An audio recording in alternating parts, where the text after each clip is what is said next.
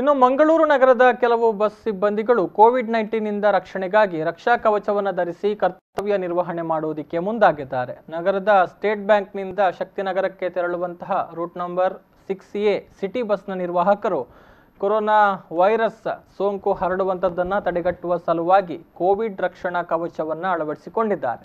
ಬಸ್ಸಿನಲ್ಲಿ ಪ್ರಯಾಣಿಕರ ಸಂಖ್ಯೆ ಮಿತಿ ಮೀರೋದು ಮತ್ತು ಸುರಕ್ಷಿತ ಅಂತರವನ್ನು ಕಾಪಾಡಲು ಆದ್ಯತೆ ನೀಡಲು ಸರ್ಕಾರ ಕಟ್ಟುನಿಟ್ಟಿನ ಸೂಚನೆ ನೀಡಿದೆ. ಆದರೂ ಮುನ್ನೆಚ್ಚರಿಕಾ ಕ್ರಮವಾಗಿ ಬಸ್ಸಿನ ನಿರ್ವಾಹಕರು ಕೋವಿಡ್ ರಕ್ಷಣಾ ಕವಚವನ್ನು ಧರಿಸಿ ಕರ್ತವ್ಯ ನಿರ್ವಹಣೆ ಮಾಡ್ತಾ ಇದ್ದಾರೆ. ಬಹುತೇಕ ಬಸ್ಸುಗಳಲ್ಲಿ ಪ್ರಯಾಣಿಕರ ಸಂಖ್ಯೆಯಲ್ಲಿ ಹೆಚ್ಚಳ ಕಂಡುಬರ್ತಾ ಇರುವ ಸಂದರ್ಭದಲ್ಲಿ ಬಸ್ಸಿನ ಸಿಬ್ಬಂದಿಯ ಮುಂಜಾಗ್ರತಾ ಕ್ರಮ ಈಗ ವ್ಯಾಪಕವಾಗಿ ಪ್ರಶಂಸೆಗೆ ಕಾರಣವಾಗ್ತಾ ಇದೆ.